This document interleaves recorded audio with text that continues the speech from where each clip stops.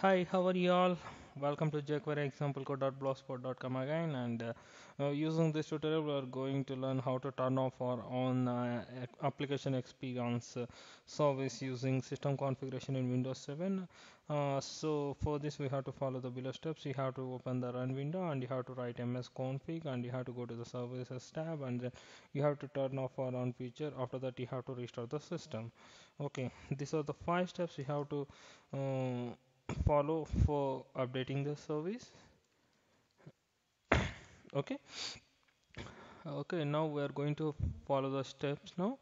Just I am opening the run command and then I'm writing the msconfig and uh, I'm clicking on OK. Now the system configuration window has been opened here. Now you have to go to services and you have to go to the application experience. This is the Microsoft application.